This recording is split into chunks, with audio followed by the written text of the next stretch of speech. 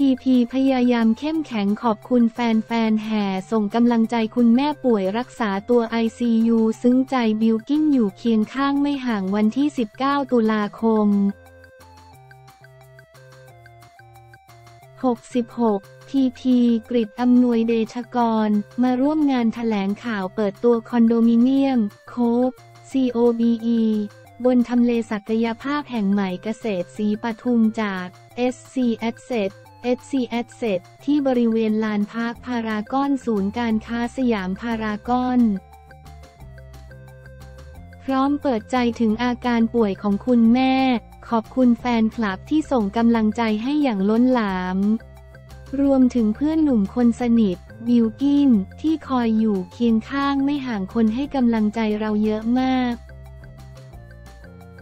ก็ขอบคุณแฟนๆแล้วกันนะครับ ขอบคุณที่พี่ทุกคนที่มาให้กำลังใจพีพีในวันนี้ด้วย สิ่งนี้มันช่วยเหลือตัวพีและช่วยเหลือครอบครัวพีจริง ๆ ได้อ่านข้อความให้กำลังใจไหม ได้อ่านครับ อย่างคุณพ่อหรือว่าพี่สาวก็ได้มีโอกาสอ่านทุกๆ ข้อความนะครับ ที่แฟนๆ ส่งมาให้กำลังใจ ตัวพีก็ได้อ่านครับ ได้กดเข้าไปดูด้วย เราก็รู้สึกดีใจมากๆที่แฟนๆ เป็นกำลังใจให้ครอบครัวของเราและคุณแม่พีด้วยครับ อุ่นใจขึ้นไหม ก็อุ่นใจขึ้นครับ หลายๆ คนที่ส่งมาบางคนก็จะส่งข้อมูลมาด้วยส่งความช่วยเหลือต่างๆ มาด้วย ก็ขอบคุณมากๆจริง ๆ ที่ support ครอบครัวเรามากขนาดนี้ เราต้องเข้มแข็งขนาดไหนเพื่อคุณพ่อ เพื่อพี่สาวจริงๆ ทีว่าทุกคนในครอบครัวแหละครับ ทุกคนก็พยายามจะเข้มแข็งเหมือนกัน เราก็ต้องทำงานต่อไปและเราก็ต้องเดินต่อไปข้างหน้าครับ คุณหมอบอกอาการคืบหน้าไหม ตอนนี้คุณแม่ก็ยังอยู่ที่โรงพยาบาลครับ อาการก็คิดว่าค่อนข้างจะดีขึ้นแล้วครับ เมื่อเช้าคุณหมอก็บอกว่าเหมือนเขาให้การตอบสนองต่อการรักษาอย่างดีครับ ก็ดีขึ้นเยอะมากๆแล้วครับทีนใจตัวเองยังไง เพราะยังต้องออกมาทำงาน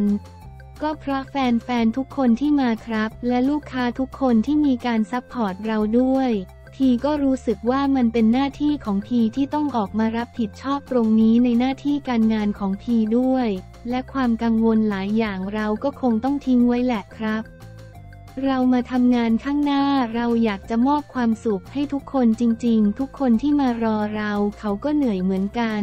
เราก็เหนื่อยเหมือนกัน แต่ไม่เป็นไรเรามาทำหน้าที่ตรงนี้ก็อยากจะให้ทุกคนเอนจอยกับตัวพีด้วย กับตัวงานด้วยครับ ทุกวันนี้พอเสร็จงานก็รีบไปโรงพยาบาลเลยใช่ไหม ครับ ก็ทุกๆวันไม่ว่าจะก่อนหรือหลังจากงาน ถ้าพอมีเวลาก็จะพยายามไปอยู่กับคุณแม่ให้ได้มากที่สุด บิลกินให้กำลังใจยังไงบ้างบิลกินน่ารักมาก ๆ ครับ ตั้งแต่วันแรกที่คุณแม่เข้าโรงพยาบาลเลย บิลกินก็เป็นคนที่อยู่กับพีตลอดครับ น้ำตาซึม เป็นคนที่ช่วยเหลือพีในทุกๆอย่างจริง ๆ ครับ เราเติมกำลังใจให้ตัวเองยังไงบ้าง ก็ต้องเข้มแข็งครับ แล้วก็ทำหน้าที่ของเราให้ดีที่สุดทีเชื่อว่ายังไงทุกๆอย่างจะต้องดีขึ้นแน่นอน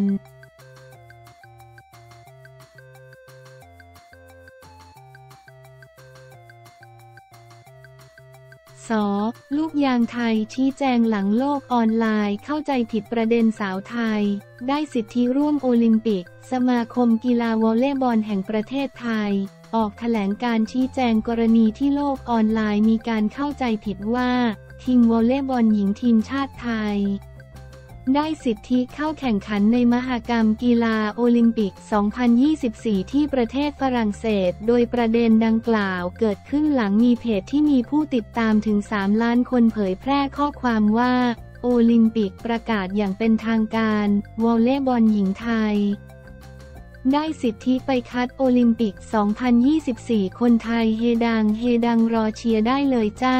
ทำให้เกิดความเข้าใจผิดว่าทีมลูกยางสาวไทยได้สิทธิเข้าร่วมการแข่งขันในโอลิมปิกเกม ที่กรุงปารีสประเทศฝรั่งเศส อย่างไรก็ตาม สมาคมกีฬาวอลเลย์บอลแห่งประเทศไทย ได้ออกแถลงการณ์ชี้แจงความเข้าใจผิดในประเด็นดังกล่าว โดยระบุว่า ตามที่ได้มีการเผยแพร่ข่าวทางสื่อต่างๆ ว่าโอลิมปิกประกาศอย่างเป็นทางการว่าทีมวอลเลย์บอลหญิงของไทย ได้สิทธิไปแข่งโอลิมปิก 2024 นั้น สมาคมกีฬาวอลเลย์บอลแห่งประเทศไทย ขอเรียนว่าข่าวดังกล่าวไม่เป็นความจริง ข้อเท็จจริงคือสหพันธ์วอลเลย์บอลนานาชาติ FIVB ได้ประกาศให้ประเทศไทยเป็นหนึ่งใน 24 ประเทศ ที่ได้สิทธิในการเข้าร่วมการแข่งขันคัดเลือกโอลิมปิก โดยอยู่ในสายซีซึ่งประเทศโปแลนด์เป็นเจ้าภาพจัดการแข่งขันไปเมื่อวันที่ 16 ถึงวันที่ 24 กันยายน 2566 โดยประเทศที่มีคะแนนสูงสุดลำดับที่ 1 และ 2 ได้สิทธิเข้าร่วมการแข่งขันโอลิมปิก 2024 ที่ปารีสประเทศฝรั่งเศส ได้แก่สหรัฐอเมริกาและโปแลนด์ ส่วนไทยได้ลำดับที่ 4 ไม่ได้สิทธิเข้าร่วมการแข่งขัน ในขณะเดียวกันก็มีการจัดการแข่งขันคัดเลือกโอลิมปิกอีกสอง สายที่ประเทศจีนและญี่ปุ่น ซึ่งผลปรากฏว่าประเทศที่ได้สิทธิเข้าร่วมการแข่งขันโอลิมปิก 2024 คือประเทศโดมินิกัน เซอร์เบีย บราซิล และตุรกี โดยสรุปขณะนี้ได้ประเทศที่ได้สิทธิเข้าร่วมการแข่งขันโอลิมปิก 2024 แล้ว 7 ประเทศได้แก่ 6 ประเทศที่ผ่านการคัดเลือกกับฝรั่งเศสประเทศเจ้าภาพ ประเทศที่ 8 และ 9 จะเป็นประเทศตัวแทนของทวีปแอฟริกา และเอเชียที่ยังไม่มีตัวแทนเข้าร่วมการแข่งขัน โดยคัดเลือกจากคะแนนอันดับโลกดีที่สุดในทวีปนั้นๆ ซึ่งในทวีปเอเชียน่าจะเป็นจีนหรือญี่ปุ่น ยังคงเหลือประเทศที่จะได้สิทธิเข้าร่วมการแข่งขันโอลิมปิก 2024 อีก 3 ประเทศ สหพันธ์วอลเลย์บอลนานาชาติจะคัดจากประเทศที่ยังไม่ได้สิทธิเข้าร่วมการแข่งขันโอลิมปิก ตามอันดับโลกหลังจบการแข่งขัน VNL รอบแรกในเดือนมิถุนายน 2567 จึงขอเรียนข้อเท็จจริงให้ทราบโดยทั่วกัน